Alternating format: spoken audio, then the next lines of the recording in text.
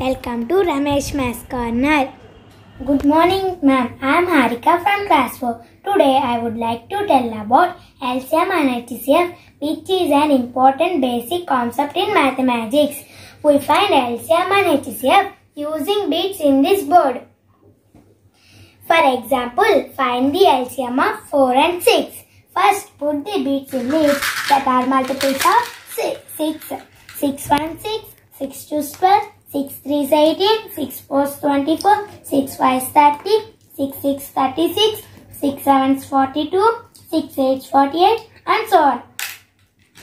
Next, put the bits in lists that are multiples of 4. 4 1 is 4, 4 2 is 8, 4 3 is 12, 4 4 is 16, 16, 4 5 is 20, 4 6 is 24, 4 7 is 28, 4 8 32, 4 9 36, 4 10 is 40, 4 11 42, 4 11 44, 4 12, 4 12 48 and so on. Leads with two colored beads are, are with leads with two colored beads containing are common multiples of 4 and 6. The first lead containing two colored beads will be LCM of 4 and 6. 12 is the LCM of 4 and 6.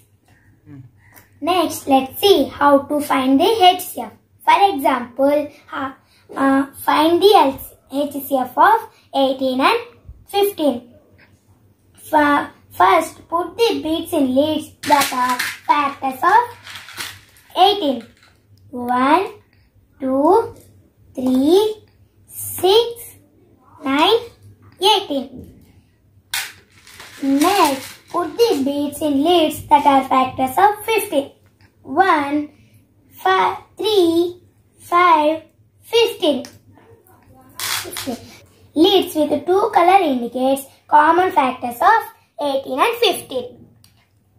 The last lead containing two color beads, uh, beads will be HCF of 18 and 15. 3 is the HCF of 18 and 15. In this way, LCM and HCF can be also explained to the students. Um, and moreover, even numbers, odd numbers, composite numbers, unit number, prime numbers can be also explained in this device. Um, pink blue color indicates uh, odd numbers because these numbers are not divisible by 2. Pink color indicates even numbers because these numbers are divisible by 2. Cross mark numbers indicates prime numbers because these numbers have uh, two factors. They are 1 and number itself. Double cross mark indicates unit number. Uh, without cross mark numbers indicates composite numbers because these numbers have 3 or more factors.